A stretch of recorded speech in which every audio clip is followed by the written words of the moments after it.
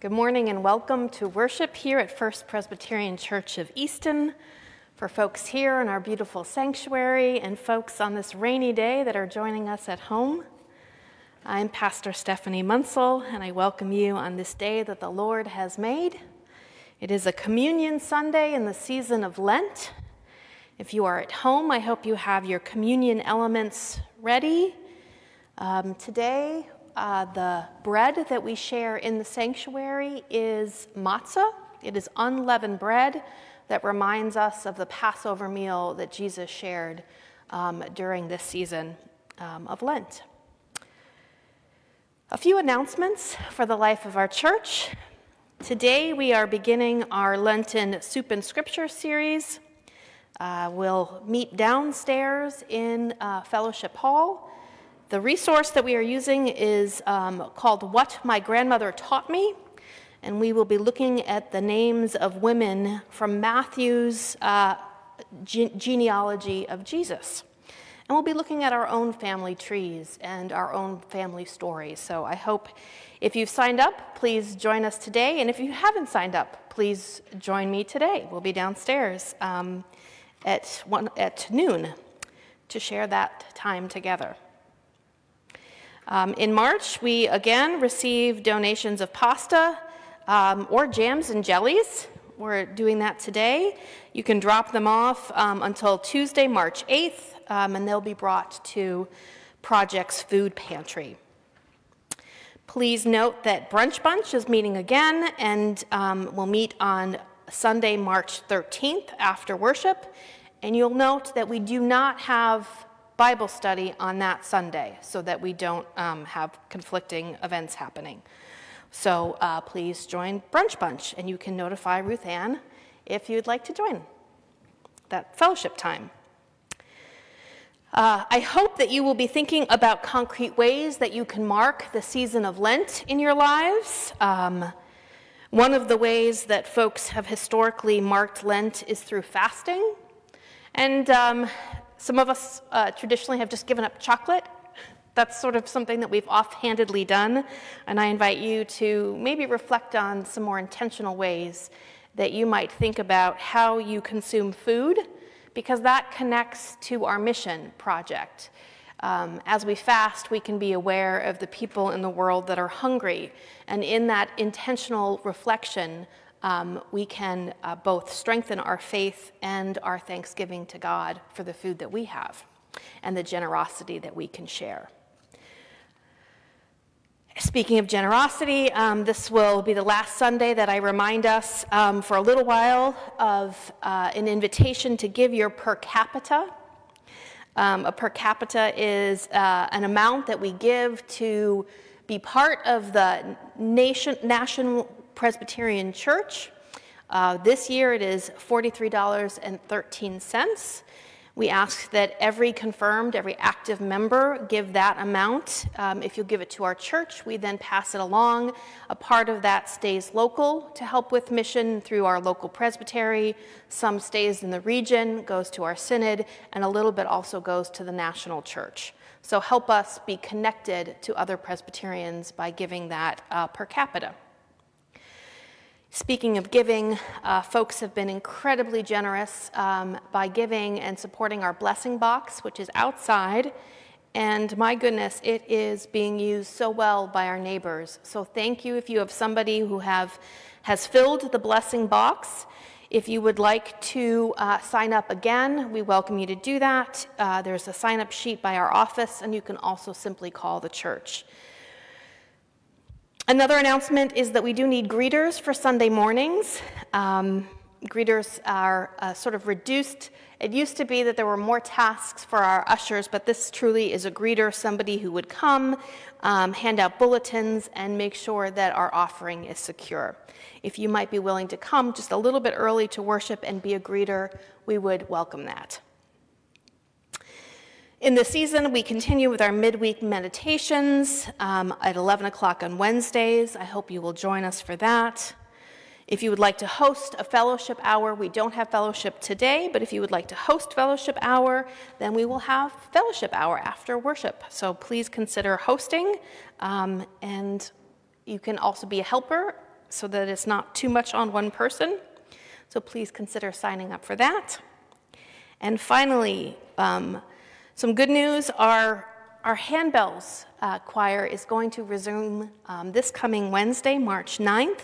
If you'd like to join them, I think you could probably just show up. Would that be fair to say, Gloria? Okay. Um, Wednesday at uh, 6:30 to 7:15, come and learn how to play bells, or come back um, and jo- enjoy the fellowship and the music of that choir. And we will give you updates on um, what our chancel choir can do in this season. Um, i am very happy to share that our choir director, Elizabeth, is doing very well. Um, brain surgery is no small thing, and so her recovery, you know, we're, we're hoping it'll be speedy, but she'll need some time for recovery. And so many folks have gathered around the family to provide food, and they are just so thankful for this church family um, and the other ways that we are providing practical ways to um, support them as uh, Peter helps care for Elizabeth and Ella um, and his mother in law.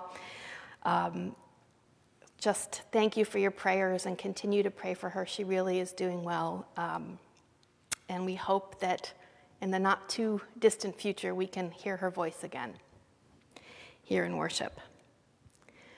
Those are my announcements for today. Is there anything that I have missed? Hearing none. Oh, I did want to mention that we, we are um, already preparing. Uh, our worship team is meeting today, and we are already looking ahead to Easter. Um, if you're somebody who would like to sign up for flowers, there are sheets um, in the rear of the sanctuary, and there might be a few up front as well, or you can call um, the church office to sign up to um, decorate in our worship space with Palm Sunday or Easter flowers. And as long as I'm talking about worship, um, I know that many of you are probably as tired as I am of wearing these masks, and um, worship team is meeting today. We are aware that the CDC has changed its guidelines, and I'm expecting that we will be updating our policies um, around masking. So um, uh, please be on the lookout for more information in the coming week. And thank you for your continued patience and your care for one another as you have been so wonderful about wearing uh, masks and taking precautions to keep each other safe. Uh, this is truly what Jesus has called us to do, so thank you. Um, and we look forward to sharing more information with you in the near future. Those are truly all my announcements. And so I invite you to turn with me to our bulletin and to speak the words in bold for the call to worship as we hear God's voice calling us, God's people, together through technology and in this space as we worship God. Holy God, creator of life, you call us out of our dark places, offering us the light of new life. You are the resurrection and the life. Seeing nothing but hopelessness, you surprise us with the wonder of new life. You are the resurrection and the life stuck in no longer useful routines and mindsets, you set us free from self imposed bonds, giving us the grace of new life. You are the resurrection and the life. Let us come to worship in the name of Jesus Christ, who is the resurrection and the life.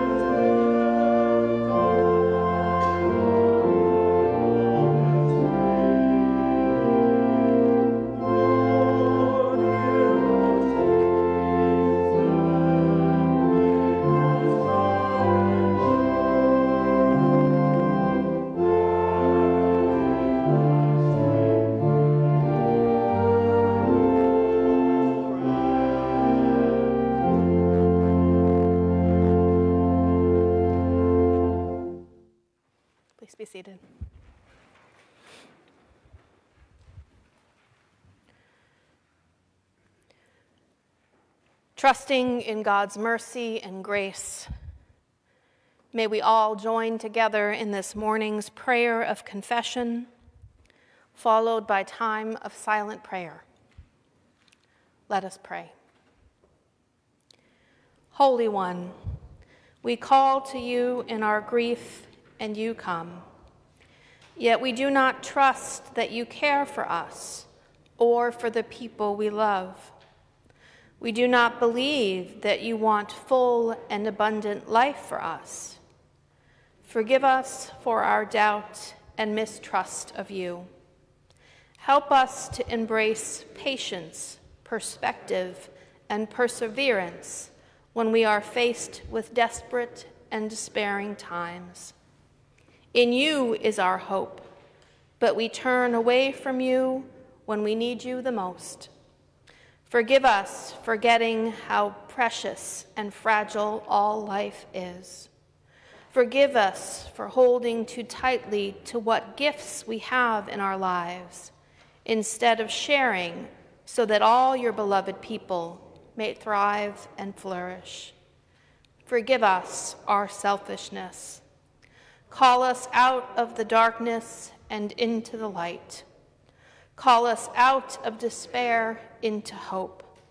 Call us out of injustice and war into peace and love. Help us to hear and listen to you, our hope and source of life.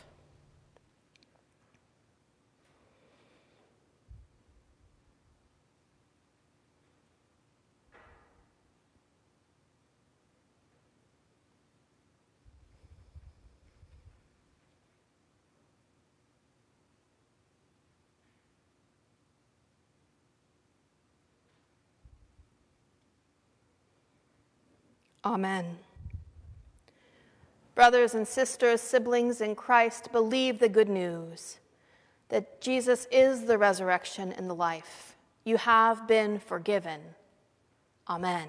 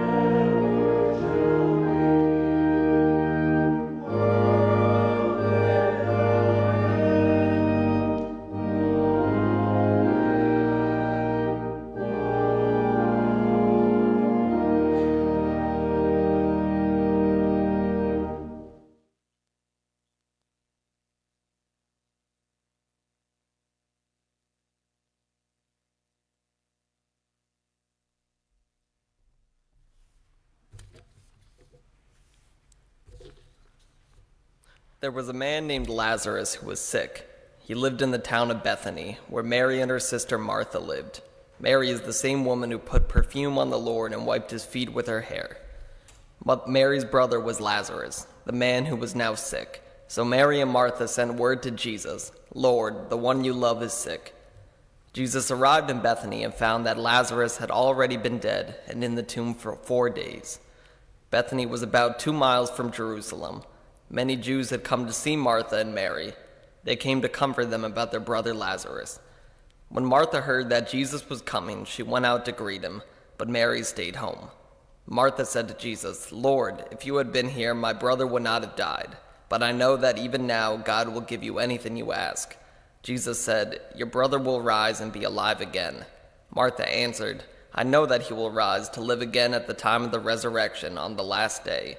Jesus said to her, I am the resurrection, I am life. Everyone who believes in me will have life, even if they die. And everyone who lives and believes in me will never really die. Martha, do you believe this? Martha answered, Yes, Lord. I believe that you are the Messiah, the Son of God. You are the one who was coming to the world. After Martha said these things, she went back to her sister Mary. She talked to Mary alone and said, The teacher is here. He is asking for you. Mary went to the place where Jesus was. When she saw him, she bowed at his feet and said, Lord, if you had been here, my brother would not have died. When Jesus saw Mary crying and the people with her crying too, he was very upset and deeply troubled. He asked, Where did you put him? They said, Lord, come and see. Jesus wept, and the Jews said, Look, he loved Lazarus very much. But some of them said, Jesus healed the eyes of the blind man. Why didn't he help Lazarus and stop him from dying? Again, feeling very upset, Jesus came to the tomb. It was a cave with a large stone covering the entrance. He said, Move the stone away. Martha said, But Lord, it has been four days since Lazarus died. There will be a bad smell. Martha was the sister of the dead man. Then Jesus said to her, Remember what I told you. I said that if you believed, you would see God's divine greatness. So they moved the stone away from the entrance. Then Jesus looked up and said, Father, I thank you that you heard me. I know that you always hear me. But I said these things because of the people here around me. I want them to believe that you sent me. After Jesus said this, he called out in a loud voice, Lazarus, come out. The dead man came out. His hands and feet were wrapped with pieces of cloth. He had a handkerchief covering his face. Jesus said to the people, Take off the cloth and let him go.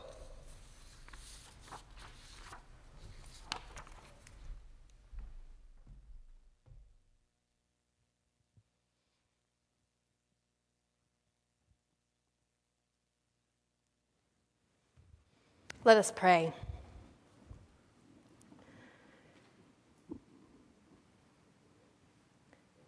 O Holy One, you come to us in our darkest hours. Let us hear your word and receive you as the resurrection and the life. In Christ's name, amen. So, friends, today we heard the story of Mary and Martha and Lazarus, three adult siblings from Bethany. They have history with Jesus. Yes, they are followers. But what is clear is that they are also friends with Jesus. They have reason to trust Jesus both as a human being and as God's revelation on earth. And so, when Lazarus falls gravely ill, his sisters, Mary and Martha, they send for Jesus. But Jesus is not close. He is across the Jordan. We see this in verses 10, 40, and in the beginning of chapter 11. Jesus' response to this news that his good friend is gravely ill kind of surprisingly relaxed, given the gravity of Lazarus' state. Though Jesus was moved by Martha and her sister and Lazarus, after having heard that Lazarus was ill, he stayed two days longer in the place where he was. Two days. Now, we, we, as readers, we have the insight which the sisters don't. We can read that Jesus is confident that Lazarus' illness will not lead to death.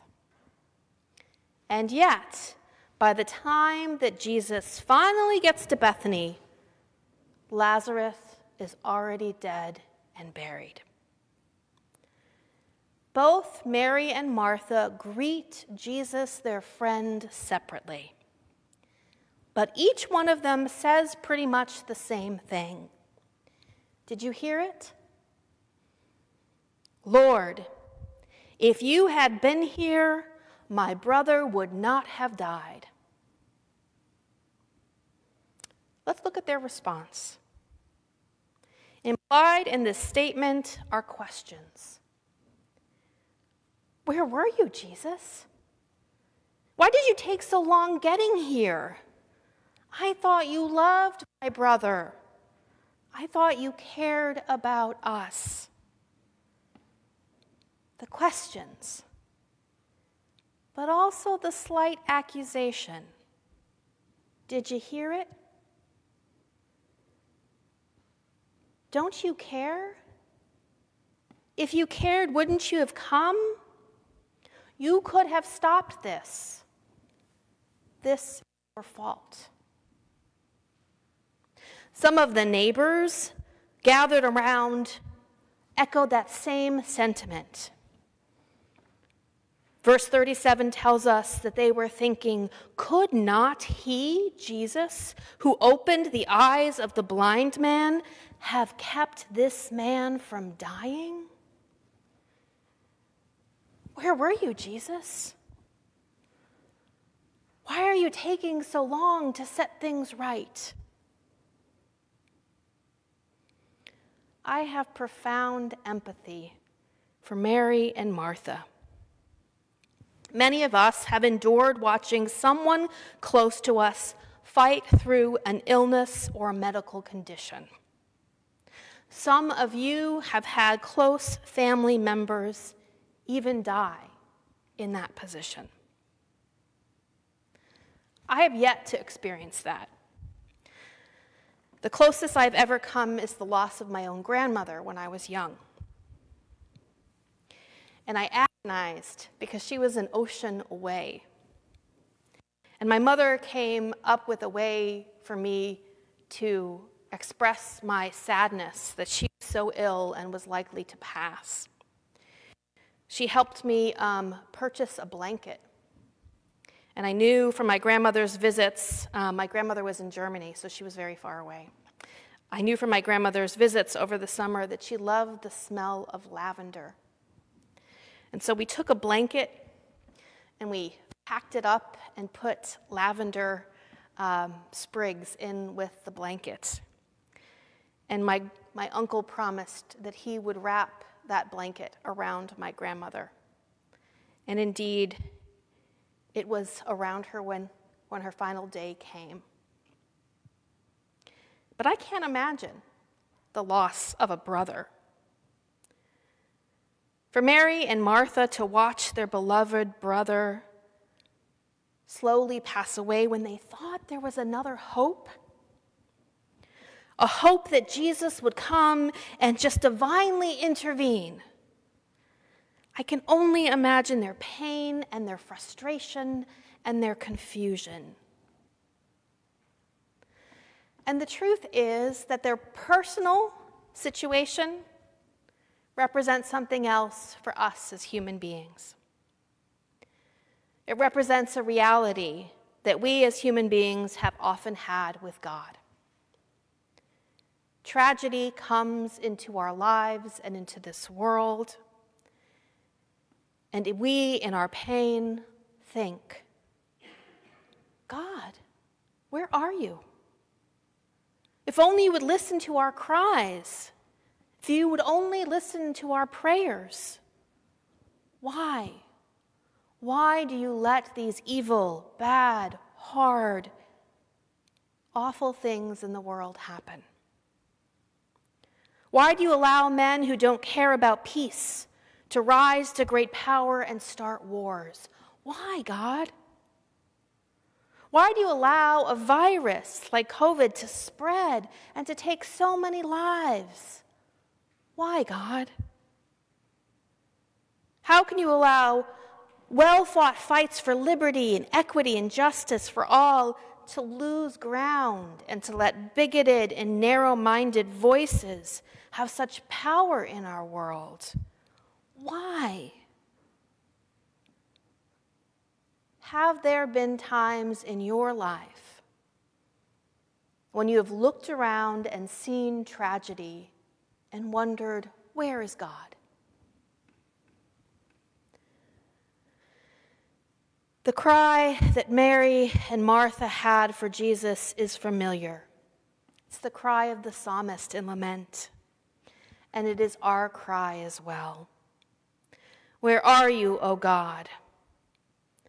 I know it is the cry of the couple whose marriage is failing.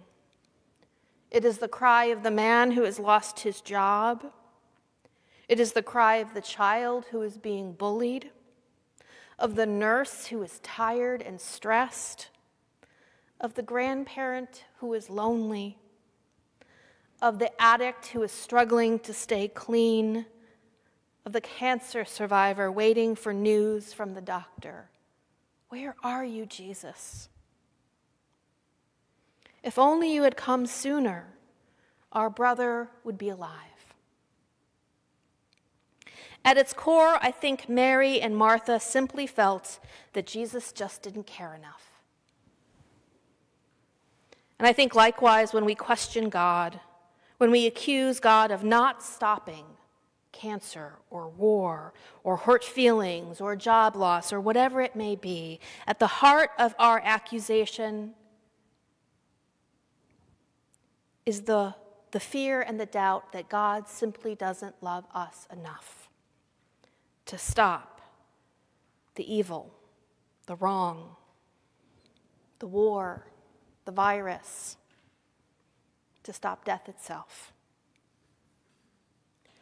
So, what can we take from this story of Mary and Martha, of Lazarus and Jesus, to help us when we lose faith and have doubts in God's love for the world?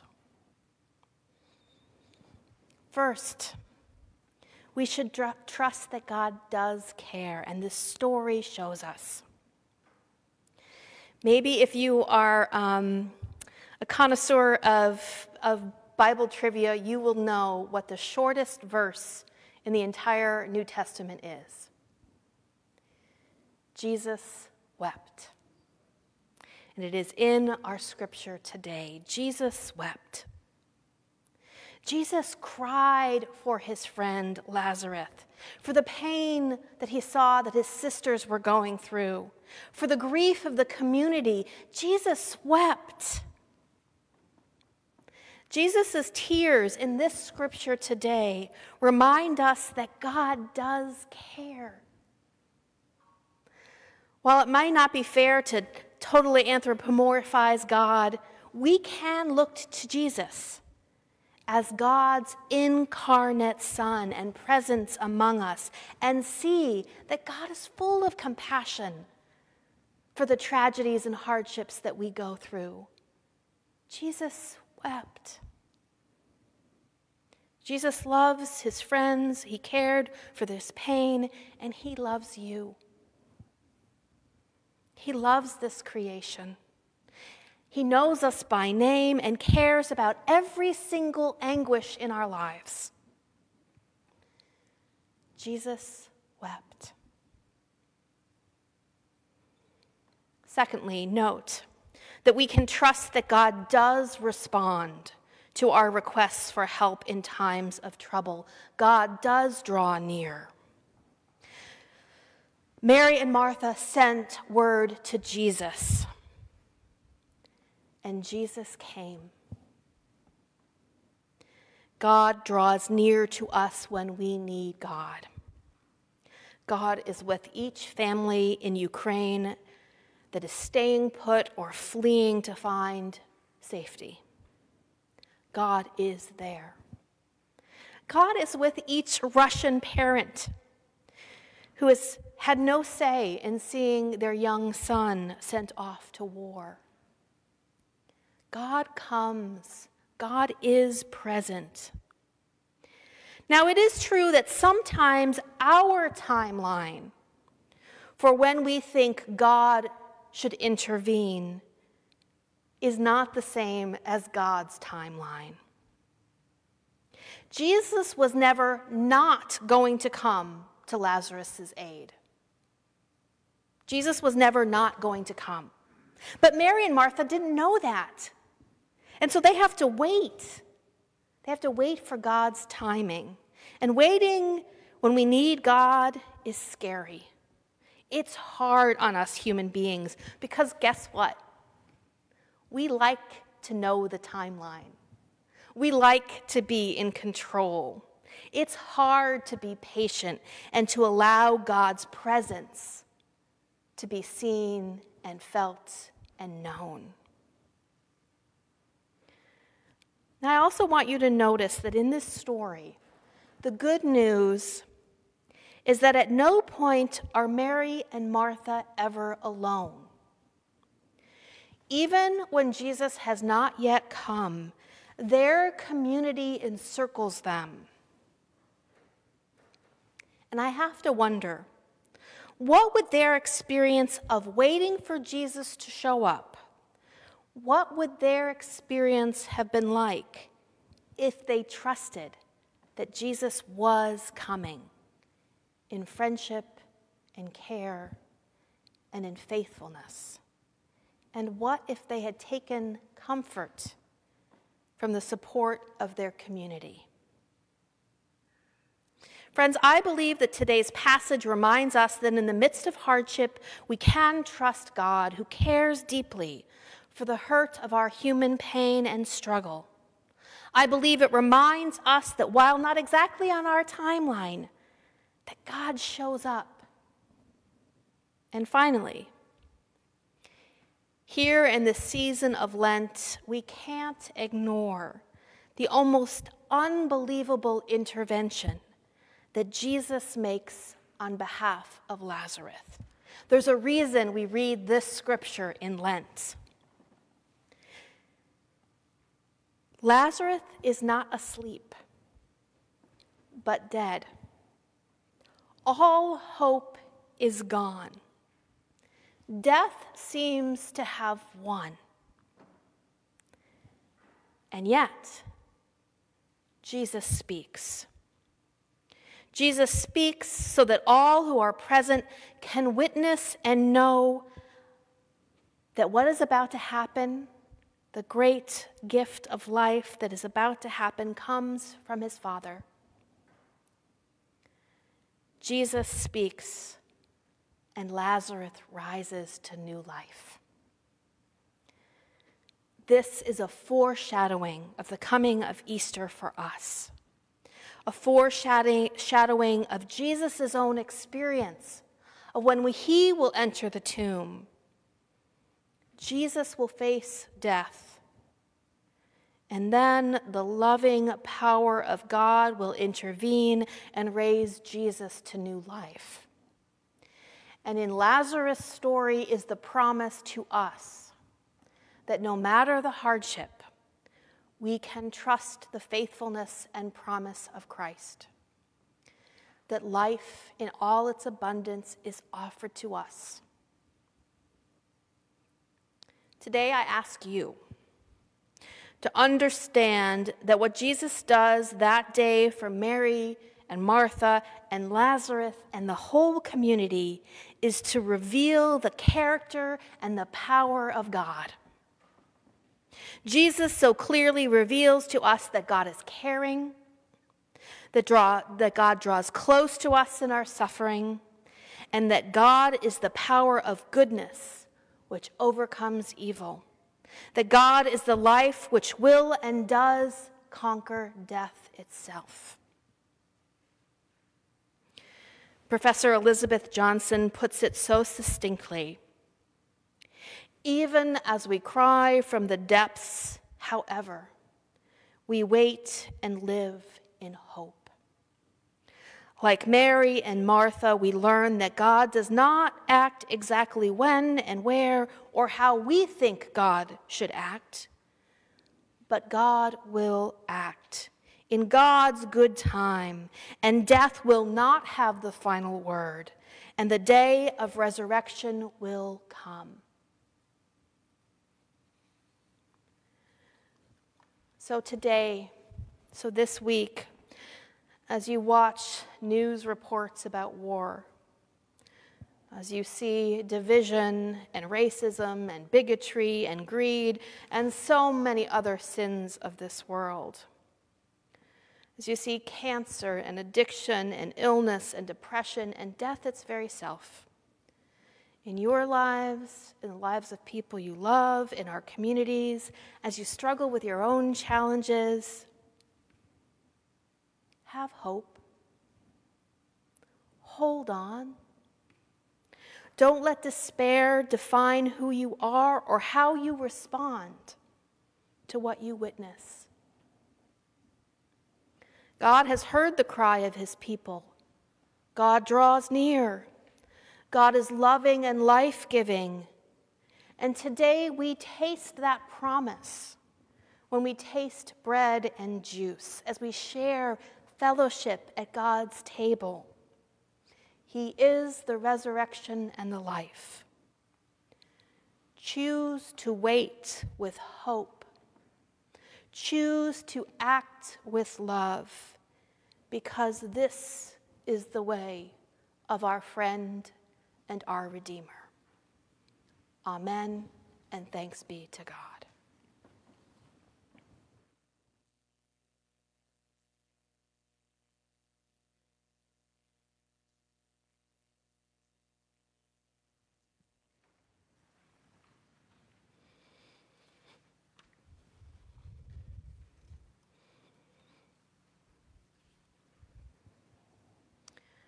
And now, let us come to Christ's table.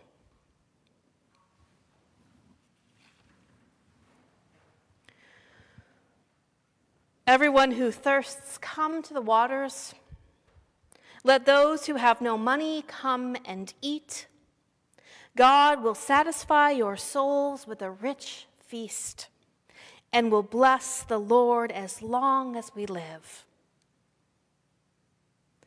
Will you join me in the great prayer of thanksgiving? The Lord be with you. And also with you. Lift up your hearts. We will lift them up to the Lord. Let us give thanks to the Lord our God. It is right to give our thanks and praise. It is truly right and our greatest joy to give you thanks and praise, O God, our Creator and Redeemer. In your wisdom, you made all things and sustained them by your power. You formed us in your image to love and to serve you. When we were slaves in Egypt, you freed us and led us through the waters of the sea. You fed us with heavenly food in the wilderness and satisfied our thirst from desert springs. On a holy mountain, you gave us the law to guide us in your way. Through the waters of Jordan, you led us into the land of your promise, and you sustained us in times of trial. You spoke through prophets, calling us to turn from our willful ways to new obedience and righteousness. And in your own time, you sent your only Son to be the way to eternal life. Therefore, we praise you, joining our voices with the choirs of angels, with all the faithful in every time and place who forever sing your praise, saying, Holy, holy, holy Lord God of power and might. Heaven and earth are full of your glory. Hosanna in the highest. Blessed is he who comes in the name of the Lord. Hosanna in the highest. Hosanna in the highest. You are holy, O God of majesty, and blessed is Jesus Christ, your Son, our Lord who took upon himself the weight of our sin, who carried the burden of our guilt. He shared our life in every way, and though tempted, was sinless to the end. Baptized by your own, he went willingly to his death, and by your power was raised to new life. In his dying and rising, you gave birth to your church delivered us from sin to death, from, from slavery and sin and death, and made us a new covenant by water and spirit. And so we remember the night that Jesus gathered with his community, with his family, at a table. And he took bread unleavened bread to remember the coming of the Passover. And he took the bread and he broke it. And he said, This is my body, broken for you. Whenever you share this, remember me.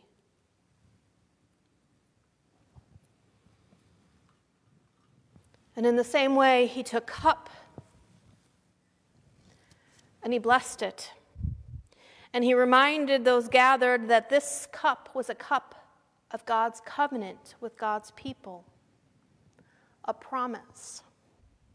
And Jesus said, This cup is a new covenant, sealed in my blood. Whenever you share it, remember me.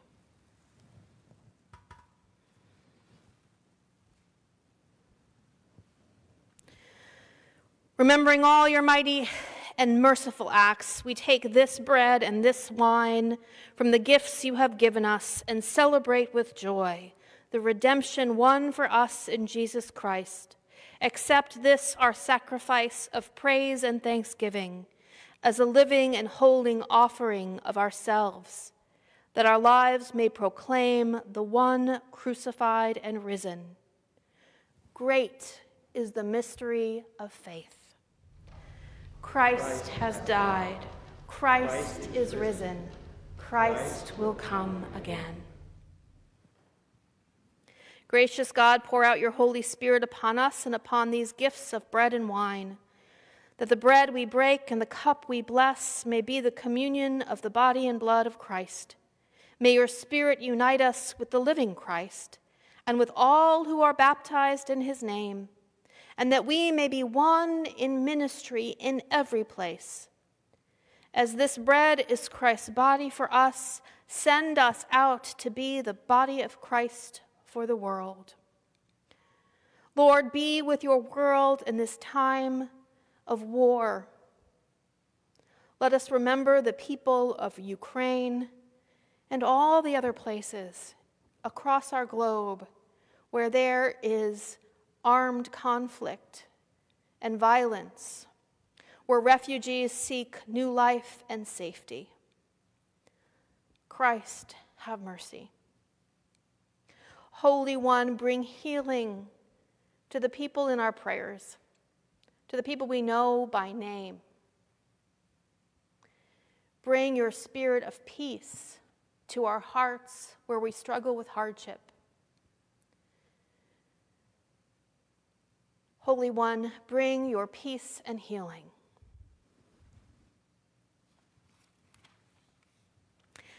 Help us to be obedient to your call, to love all your children, to do justice and to show mercy, and to live in peace with your whole creation.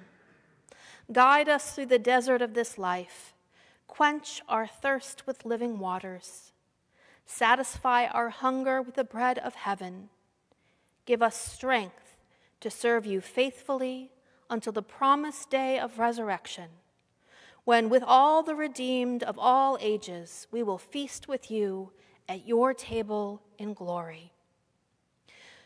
Through Christ, all glory and honor are yours, Almighty God, with the Holy Spirit in the holy church, now and forever and let the people pray.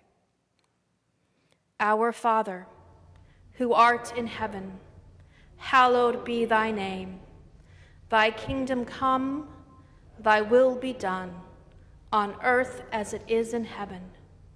Give us this day our daily bread, and forgive us our debts, as we forgive our debtors. And lead us not into temptation, but deliver us from evil.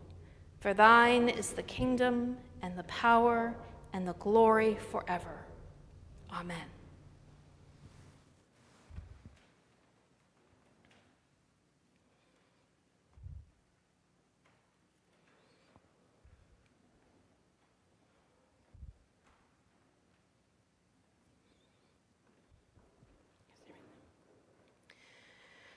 Jesus said, I am the resurrection and the life. Whoever comes to me will never be hungry, and whoever believes in me will never be thirsty.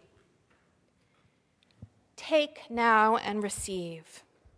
know that you are welcome at God's table. The gifts of God for the people of God. Amen.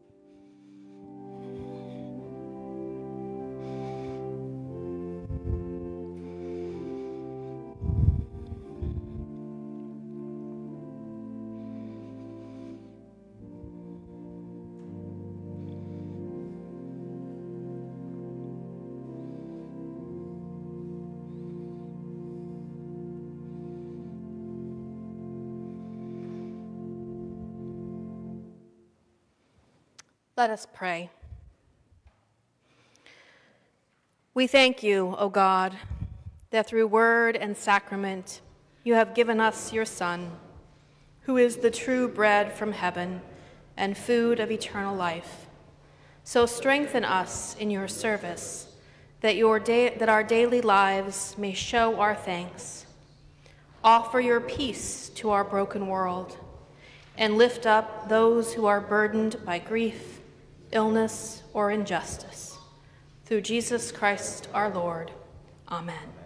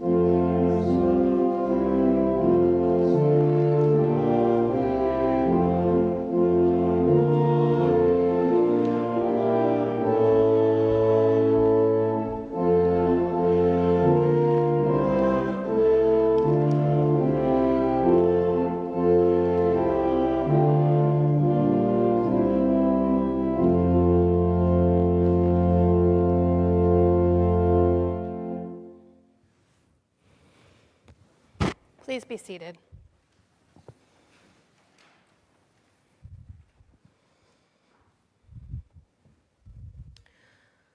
Let us give thanks to God at all times and for everything that God has provided, and in gratitude, offer to God a portion of what God has given to us. Please make your gifts in the plate in the back of the sanctuary, online, or through the mail. Thanks be to God.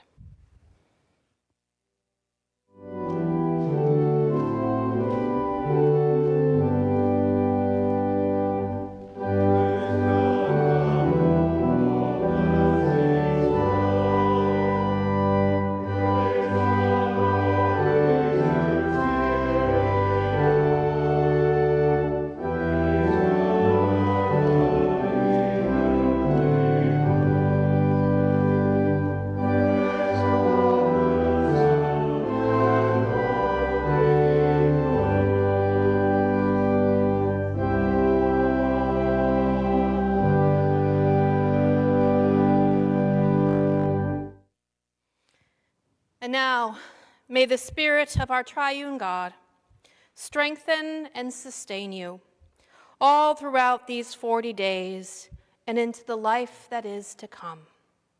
Go in peace, proclaiming the message of reconciliation and peace that God has entrusted to us. Alleluia. Amen.